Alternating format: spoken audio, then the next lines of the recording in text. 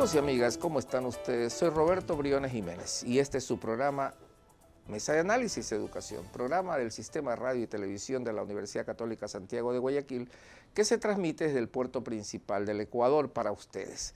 Este programa, como todos los que hacemos en el Sistema Radio y Televisión de la Universidad Católica, lleva implícito el deseo de servirlos, de interactuar de conocer, de investigar y para eso traemos los mejores prototipos de nuestra ciudad y país para entrevistas eh, en diferentes ámbitos, ¿no? Mesa de análisis cultura, mesa de análisis educación, mesa de análisis política. Hoy voy a entrevistar al director general del Colegio Internacional SEC, que es una institución eh, que está eh, afincada en Guayaquil y en Quito. Voy a presentar a Edgar Sánchez, eh, director general del Colegio SEC de Guayaquil Internacional, que hoy nos acompaña para hablar de temas eh, de ahora, ¿verdad, Edgar? Del tema, algo de la pandemia y la educación. ¿Cómo está usted? Así es. Bueno, es eh, un placer, doctor Briones, estar aquí en este distinguido programa.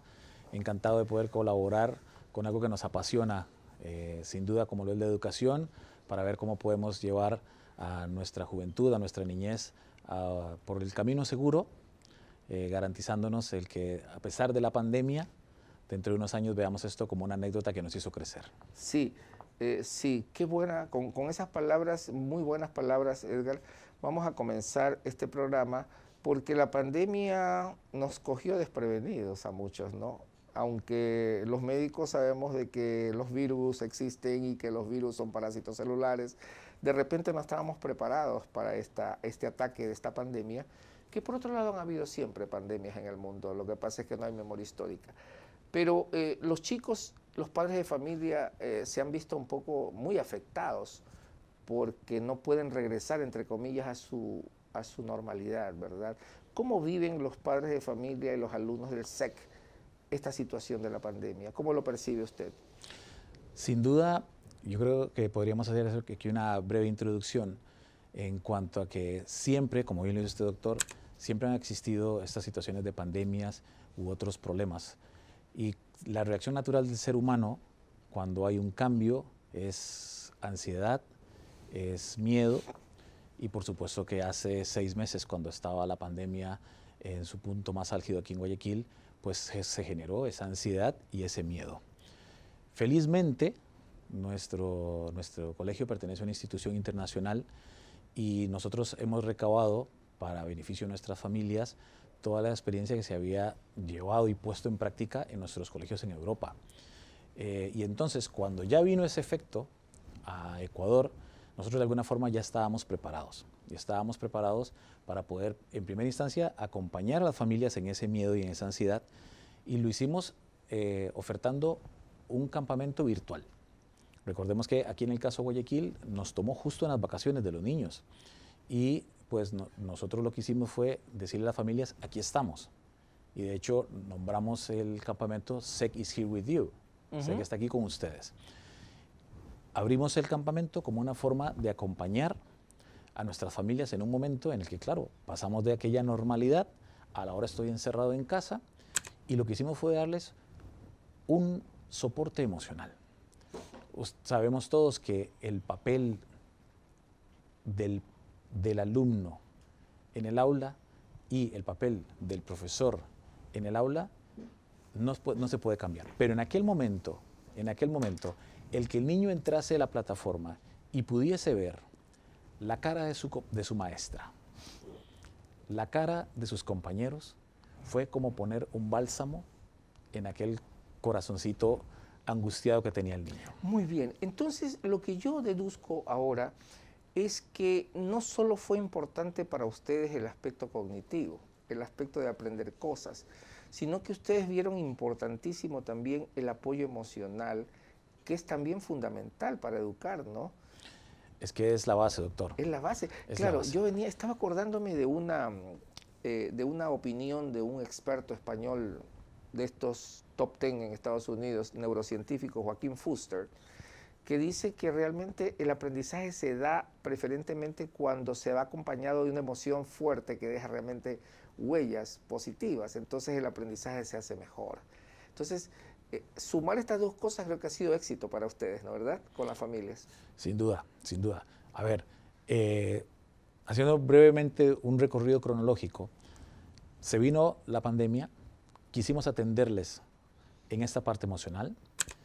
Una vez que teníamos controlada esa parte emocional en, que, en cuanto el niño empezó a hacer un hábito, aunque estaba de vacaciones, pues yo me voy a levantar para ver a mis amigos. Voy y a todo frente a la pantalla, ¿verdad? Todo frente a la pantalla, sí, todo, todo, frente a una plataforma. Y a partir de que logramos que los niños se, se, estabilizaran en eso, pues ya cuando vino el inicio del curso lectivo, ya los niños no solo sabían utilizar la plataforma, Ay, eran excelentes usuarios, los padres de familia tenían ya la tranquilidad de que sus hijos habían ya dominado el uso de la plataforma y tercero, sabían que no nos íbamos a detener. O sea, el campamento fue como quien dice la base para prepararlos para el año lectivo escolar que resulte exitoso. Oiga, dígame algo, ¿cómo consiguió usted o cómo consigue el Colegio SEC formar profesores para que estén preparados para esto? Porque eso no es fácil, eso no lo enseña las facultades de, que preparan profesores. Eh, ¿Cómo hace usted? Eh, ¿Cómo los recluta? ¿Cómo los obtiene? ¿Cómo les enseña a los profesores? Yo creo que los profesores todos tenemos un gran sueño, que es el ser un modelo para nuestros estudiantes. Y entonces hay que tener la autoridad moral para llegar frente a un grupo de niños o un grupo de adolescentes eh, y que los niños te admiren desde una perspectiva positiva, ¿no? Aunque sea a través de una pantalla. Aunque sea a través de una pantalla. Sí. Por eso mencionaba yo al principio el tema de la, de la confianza que genera el, estoy viendo en pantalla a mi maestra, la que me ha ayudado, la que me ha guiado. Entonces, eh, para nosotros desde hace muchísimo tiempo ha sido importante el que los profesores no solo tengan, desde luego, los conocimientos, eh, las habilidades blandas, uh -huh. sino que desarrollemos muchísimo las habilidades eh, que le permitan al profesor tener esa capacidad de adaptación inmediata. Capacitaciones constantes, lo mejor que se pueda utilizar de la tecnología, pero sobre todo decirle al profesor, estamos contigo. Un buen o sea, sistema de reclutamiento también debe haber, ¿no? Tiene que haberlo. Del personal, ¿no? Tiene que haberlo eh, y eso usted sabe, doctor, que no pasa solo por la entrevista, pasa por eh, ese deseo que usted siente en el profesor de crecer. Para mí es importante, y esto siempre se lo comento a todos los que han tenido la oportunidad de estar conmigo en una entrevista, que yo no coincido que una persona, vamos a decir, hoy, octubre eh, de 2020, esté parada aquí y dentro de dos años esté igual acá.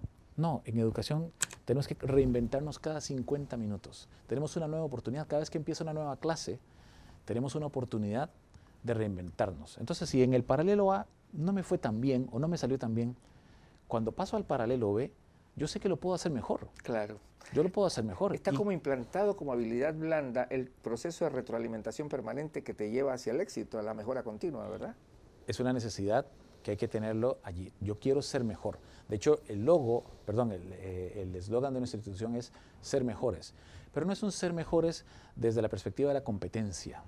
No, cuando, cuando nosotros le decimos a un alumno, yo soy SEC, eh, quiero ser mejor, es porque quiero ser mejor yo con respecto a mí mismo, con respecto a lo que hice ayer, con respecto a lo que era hace una semana.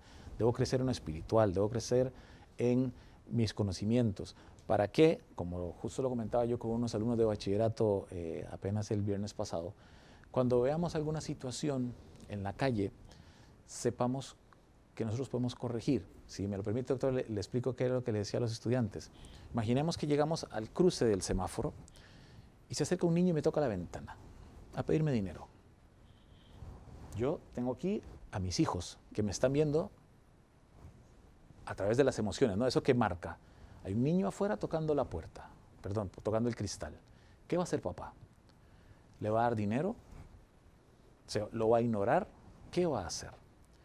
Pero además de ese qué va a hacer, está el mensaje que yo le puedo dejar a, a los chicos, y era lo que yo quería reflexionar con mis alumnos eh, de bachillerato. ¿Cuál tiene que ser nuestro discurso, el discurso del padre de familia, cuando ve que está enfrentado a esa situación?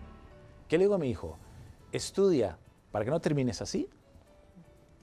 O le puedo decir, estudia para que puedas cambiar esto. Claro, tiene connotaciones distintas, muy interesante, porque las palabras marcan, ¿no? Sobre todo a nuestros hijos.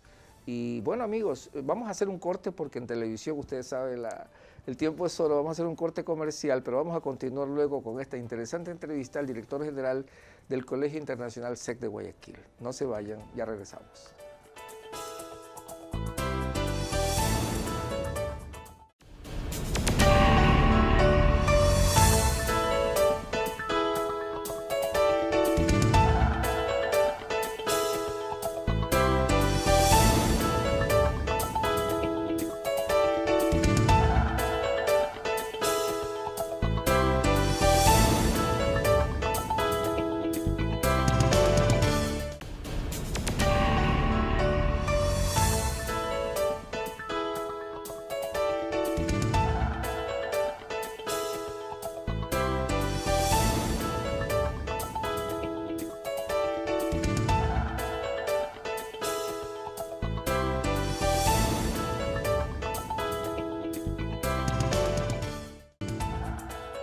Bueno amigos, estamos hablando de un tema apasionante realmente con el director general del Colegio Internacional SEC de Guayaquil, Edgar Sánchez. Y, realmente es impresionante cómo ahora, durante la pandemia, los maestros hemos tenido que cambiar muchos de nuestros comportamientos porque no es lo mismo dar una clase in situ, presencial, que dar una clase a través de una plataforma. Entonces, eh, Edgar nos va a hablar un poco de cuál es la experiencia del Colegio SEC precisamente con las clases virtuales ya, ya en, pleno ciclo lectivo, ¿no? ¿Cómo les fue? ¿Qué plataforma ¿Con qué plataforma trabajaron? ¿Cómo fue el tema y, cómo les ha ido? ¿Cuál es la evaluación, Edgar? Justo estamos terminando el primer quimestre, primer quimestre. y la verdad que nos hemos quedado no solo contentos, sino agradecidos con el esfuerzo de todos. Hablo del esfuerzo de los padres de familia, hablo del esfuerzo de los estudiantes, hablo del esfuerzo del personal docente administrativo, porque como bien dice usted, doctor, hemos tenido que reinventarnos. Pero en esa reinvención hemos encontrado dos aspectos para mí fundamentales. El primero, la creatividad y el ingenio al, que, al que responden también los niños y los adolescentes. Nosotros desde el principio quisimos que esta nueva normalidad fuera lo más cercana a las clases. Y entonces, si nosotros normalmente estamos en horario de 8 a 4, cuando estamos en clases presenciales, pues hicimos un horario ampliado para que nuestros alumnos en educación virtual, ahora en educación en línea, estuviesen de una manera sincrónica la mayor cantidad de horas posible. Eso fue un gran éxito. Porque entonces, aunque alguno podría pensar pero los van a tener ustedes desde las 9 hasta las 3 de la tarde, desde las 8 hasta las 4 de la tarde en línea. Era el primer cuestionamiento que hacían los niños. ¿Van a estar tantas horas en pantalla? Era un cuestionamiento de la primera semana. Para la segunda semana, ya los padres y los estudiantes estaban que les faltaba tiempo más bien. ¿Por qué? Porque hemos encontrado que la plataforma nos da la oportunidad de que efectivamente los niños estén con nosotros, pero que podamos generar una cantidad de actividades que haga la clase lo suficientemente dinámica, atractiva, atractiva, que aunque suene extraño para los que lo piensen, que sea inclusive muy kinestésica, estas actividades del yo puedo participar, yo puedo hacer las cosas y podemos atender todos los tipos de inteligencias que hay en un aula desde la pantalla. Sí, a mí me resulta la hora sincrónica bueno, nueva terminología, amigos, porque inclusive hemos adoptado nueva terminología para la educación. La hora sincrónica para mí en la universidad, mientras doy mi clase, me resulta corta realmente y a veces me extiendo un poquito, 5 o 10 minutos más, y luego las horas asincrónicas las utilizo para el chat. Entonces a veces tomo las tareas hasta por el chat y hemos tenido que reinventarnos, realmente ver otras formas de cómo evaluar, de cómo... Y los chicos, aunque no están totalmente, los míos, ¿no? que ya son grandes, en medicina se necesita tocar al paciente, ir al hospital, aunque ellos están un poco todavía ansiosos porque quieren ir al hospital, eh, todavía no, porque la pandemia está ahí, el coronavirus, entonces este, se ha hecho más llevadera la clase, han aprendido, ¿sí? Han aprendido. Eh, hay algo maravilloso, cuando uno ve a un niño de preescolar que es capaz de volverse totalmente autónomo en el manejo de la plataforma, es algo que si, si no es porque lo vivimos, no lo creerías. Pero claro, también hemos hecho los ajustes nosotros para que un niño, a ver, usted no le puede decir a un niño de 5 años, ahora pásate a la clase de identity y dentro de 50 minutos te pasas a, la clase de, juegos. No, lo que hicimos fue hacer un código de colores. Con los niños un código de colores. Hicimos un código de colores para que... Para ¿Qué tal les fue? Súper bien, porque el niño entonces pues mira su horario, ¿ya? Por los colores. Por los colores. Y entonces dice, ah, pues me toca azul y voy a ir a la pantalla azul. Y cuando él va a la pantalla azul, pues entonces ya él, a él no le importa cómo se llama la materia, él solo quiere ver a su maestra, a sus compañeros y trabajar con ellos. Y ese código de colores ha sido un éxito, ha sido un éxito y fue una idea de las maestras del preescolar. Porque fue el, bueno, ¿qué tenemos a la mano que los niños en, en común puedan definir como algo que les va a ellos una, una orientación sistemática? Los colores. Los colores, claro. Los colores. Y entonces para ellos ha sido algo maravilloso que eh, en el que se manejan absolutamente solos, no, no necesitan del padre allí. Sí, hemos hablado un poco de los estudiantes, de los maestros, y ahora me toca hablar de los padres, porque también los padres tuvieron que o tienen que pasar un proceso de adaptación a lo que no estaban acostumbrados. Ahora los padres se convierten en auxiliares de, apoyo de los docentes, ¿no? Entonces, ¿cómo reaccionaron los padres? ¿Cuál, ¿Cuál, ha sido el impacto y de qué manera los han apoyado los padres en la educación del SEC? Yo creo que nuestros padres en este momento están muy satisfechos y lo digo con orgullo. Eh, no solo porque como director general me lo hacen saber, sino porque en la autoevaluación que hacemos al final del quimestre, vemos que los padres se han sentido A, acompañados, B, les hemos guiado a un padre de familia que hace poco no sabía qué era Zoom o qué era un Google Meets o que no sabía cualquiera de esas herramientas y no tenía por qué saberla, pues les, les hemos hecho cursos, les hemos llevado de la mano para que sepan de la A a la Z, como digo yo, desde cómo encender la computadora, cómo participar de la clase y cómo terminarla. O sea que también están educando a los padres. Estamos educando a los padres, pero es que yo creo que todos los que nos tomamos en serio la educación sabemos que para que esto funcione, el niño tiene que saber que su padre está allí. Y le están dando herramientas al papá también, porque entonces esa misma forma que aprendió en Zoom la puede tener para sus reuniones de negocios, para sus reuniones con los amigos.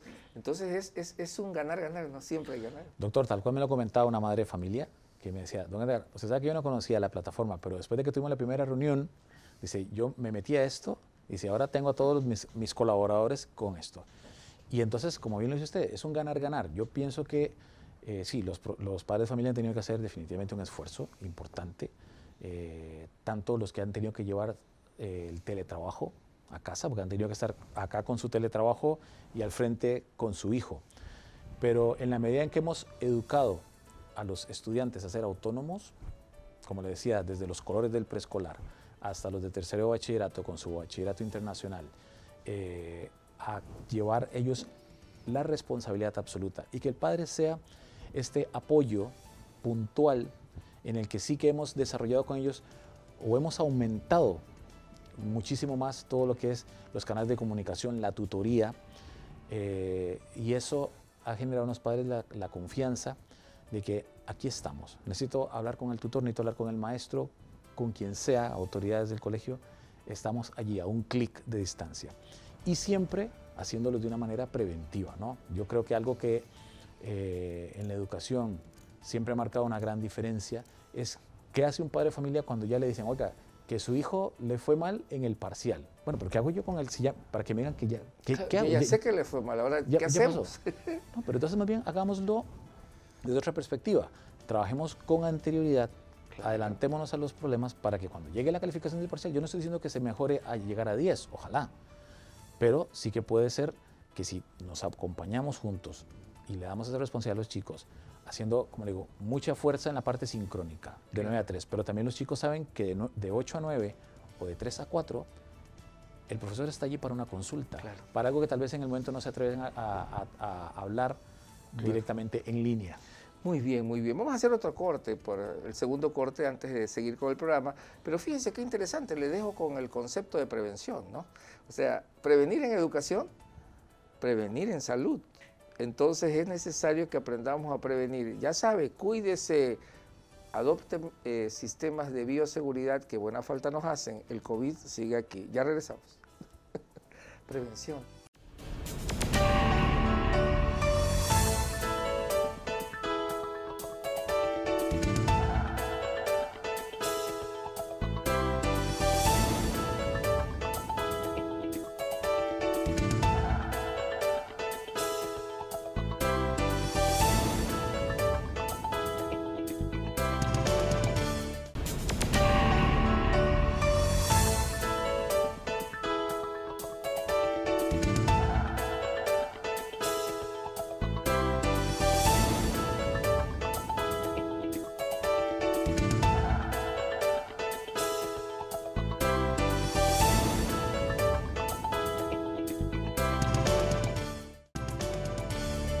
Amigas, estamos en un programa realmente importante. Después de la pandemia tenemos que tener, escuchar a los expertos sobre qué hacemos y qué vamos a hacer, porque toda crisis tiene un momento de inicio, pero también tiene una fecha de caducidad. En algún momento vamos a terminar como hemos terminado con todas las pandemias, más tarde o más temprano. Y también valdría la pena preguntarle aquí al director general del Colegio Internacional SEC, ¿qué viene luego una vez que hemos superado, porque vamos a superar la pandemia, qué viene luego en el retorno? ¿Qué hacemos? Creo que lo más importante, hablábamos al principio de la entrevista de aquellas ansiedades y miedos que pueden suponer en la psique colectiva eh, una situación como la que hemos vivido en este 2020. Hemos llegado eh, con un esfuerzo grande de toda, la, eh, de toda la comunidad a un momento en el que estamos todos tranquilos, más no hay que confiarse, como bien lo decía usted antes del corte. ¿Y qué viene? Pues viene el saber que el cuidarse está en nosotros mismos, que podemos volver a las aulas. En Europa, en Asia, se ha vuelto a las aulas. Nuestros colegios en Europa han vuelto a las aulas. Se ha vuelto de una manera eh, paulatina. ¿Para qué? Para ir educando a todos los usuarios. Y entonces nosotros hemos propuesto a las autoridades iniciar con el preescolar, luego ir a la primaria, luego a la secundaria y terminar con el bachillerato. ¿Lo podemos hacer? Claro que sí. Ya los modelos de éxito los estamos aplicando en otros países. Hay que hacerlo despacio, enseñándole a la gente que sí se puede hacer que así como en otras ocasiones hablamos de que podemos de una manera consciente mejorar en cuanto al reciclaje que se haga en mi, en, mi hogar, también tengo que incorporar todos aquellos hábitos biosanitarios que me permitan luego compartir allí donde esté, en este caso en un ambiente educativo, cuidándome y cuidando a mis compañeros. Los factores son sencillos de atacar. El primero, diría yo, es el tomar conciencia de que yo soy responsable de mi salud y la de mis compañeros. Que a los padres de familia se le aplicamos de la, misma manera. usted no envía a su hijo si ve que su hijo está, un poquito enfermo, que tiene un poquito de fluido. Bueno, pues no lo, no lo envíe usted, porque es muy importante. Entonces, hay que darse la mano con los padres de familia en ese sentido. El segundo, la educación no se va a detener. Las universidades, o sea, nosotros egresamos, incorporamos a los bachilleres, pero las universidades no se van a detener. El mundo laboral no se va a detener. Con pandemia o sin pandemia, hay eh, que eh, trabajar. Hay, que trabajar, hay que seguir adelante. Entonces necesitamos darle a nuestros estudiantes las herramientas para que en cualquier de los ámbitos, sincrónico o asincrónico, presencial o en línea, se puedan desenvolver y puedan ir a una universidad, no sabemos en este momento si virtual para el año entrante o para hacer un teletrabajo dentro de 10 para los que están ahorita en primaria, pero que ellos tengan esa certeza de que pueden desenvolverse con todas estas habilidades blandas de las que hablábamos al principio, con propiedad, que buena falta nos hacen en, muchos casos. Y el tercer elemento, desde luego, es el que al volver a las aulas, sin duda, vamos a acompañar de una manera más cercana a toda esta parte emocional de los alumnos, a toda esta parte emocional de las familias. Las familias, eh, doctor, desde luego no son especialistas en educación, hacen su mejor esfuerzo, los padres de familia sabemos que hacen su mejor esfuerzo, pero llega un momento en que se encuentran atados de manos. No pueden ir más allá. Eh, y para eso existimos los colegios. Y los colegios estamos con la mejor intención de darles la mano a las familias para que vayamos hacia esa educación presencial, despacio, respetuoso de todo lo que vayan dictando las autoridades sanitarias, pero tenemos que saber que esto se puede lograr y que nos vamos a lograr llevar, insisto, de la mano hacia un éxito, no solo en lo cognitivo, sino el lograr llevar a todos, a, todos los muchachos de una, de una forma tranquila hacia el éxito. Como alguien dijo, despacio que tengo prisa. Bien dicho. bueno, en realidad todo esto hay para hablarlo en muchos programas, ¿verdad? Porque la educación no deja de apasionarnos, sobre todo a los que ya nos entró hace años el bichito de, formar a otros, ¿no? El compromiso personal, y, eh, espiritual, moral de, dedicar la vida a, a, otros desde la vertiente educativa. No solo educamos a nuestros hijos, sino que educamos a los hijos de otros, que eso debe ser una bendición de Dios adicional. En todo caso, los chicos también están expuestos a altos niveles de estrés y los padres también. Lo que se viene luego tal vez sea un elevado índice y ya existe de estrés postraumático, ¿verdad? Tal vez en algunas eh, familias se, se, maneje mejor con todas las pautas que el colegio apoya y en otras menos. Pero de hecho vamos a tener muchas enfermedades. De hecho ya se supone que va a aumentar el embarazo, eh, el embarazo adolescente por todas estas situaciones de encierro y, y por tanta gente desaprensiva que no alcanza a controlar la autoridad. En todo caso, yo quiero felicitarlo, felicitar al Colegio SEC por todo el esfuerzo que está haciendo por sus padres, no ahora, sino hace mucho tiempo. Usted bien lo dijo, es una organización internacional de educación que está en varios países de Europa, no solo en el Ecuador, y en otros países de América. Entonces, de hecho, ustedes tienen mucha experiencia. Entonces, han resuelto algunos de los problemas que ahora son nuevos, que se presentan en pandemia. Yo quiero dejarlo con sus últimas palabras, mi estimado amigo, para que usted nos diga, eh, nos dé sus sugerencias para todos los padres que ven el programa y que no están en el SEC. Entonces, ¿de qué forma usted nos sugiere para ir superando este tipo de cosas? Para los que no son padres del SEC, por supuesto. Yo, yo quisiera enfocar mi mensaje final eh, en dos puntos. El primero, acérquense con sus hijos. Yo creo que la pandemia, si algo no, que nos ha dado la oportunidad de hacer, es el de acercarnos con nuestros hijos. Un juego de mesa, un escuchar, un ver una película juntos, un simplemente decirle, ¿y qué, es, qué música es esa? ¿Quién es ese cantante? El primer acercamiento no puede ser desde el cómo te está yendo en la escuela, me llamó tu maestra. El primer acercamiento tiene que ser de acompañamiento, de quiero saber cómo estás, quiero saber cómo te sientes. Me interesas, eres me, mío. Me interesas, eres importante para mí, eres importante para todos en casa. Y eso creo que todos, y aquí lo hago como mensaje para todos los colegas educadores, eso tenemos que hacérselo sentir a todos los que están cerca de nosotros. Eres importante para mí y quiero escucharte. Cuéntame qué te angustia para ver cómo te ayudo.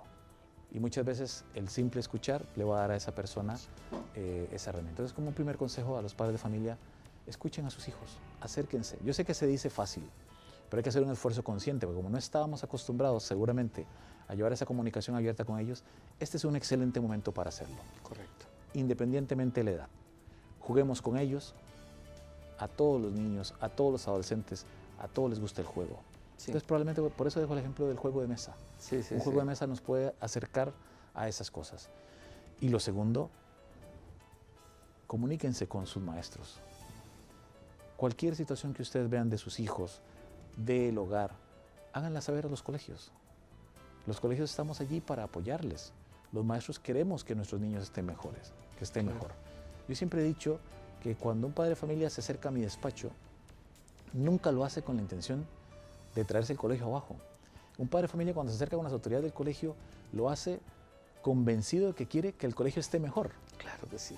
Entonces, claro que si, eh, si los padres de familia se acercan con el maestro o con aquella figura del colegio que le genere esa confianza, le va a estar dando a sus, hijos, a sus hijos una herramienta increíble para que al final el resultado sea lo que queremos, que es un Ecuador lleno de niños con sueños y realidades eh, a la mano, al alcance. Muy bien, muy bien. Un estupendo mensaje, le digo, para las, los padres de familia, sobre todo ahora que estamos tan estresados todos por efecto de que eh, necesitamos producir, necesitamos trabajar, hemos estado mucho tiempo encerrados, también hay que comer, hay que educar a los niños y todo tenemos que hacerlo óptimamente. Quiero agradecer en este programa la presencia del doctor Edgar Sánchez, que es el director general del Colegio Internacional SEC de Guayaquil, y, y pues esta es su casa. Cuando usted desee, pues estamos a las órdenes. Y gracias por venir a la entrevista. Contrario, Muchas doctor. Gracias. gracias a ustedes. Amigos y amigas, Gracias por escucharnos siempre y por estimularnos con su mensaje. Sígalos enviando por redes sociales. Hasta pronto.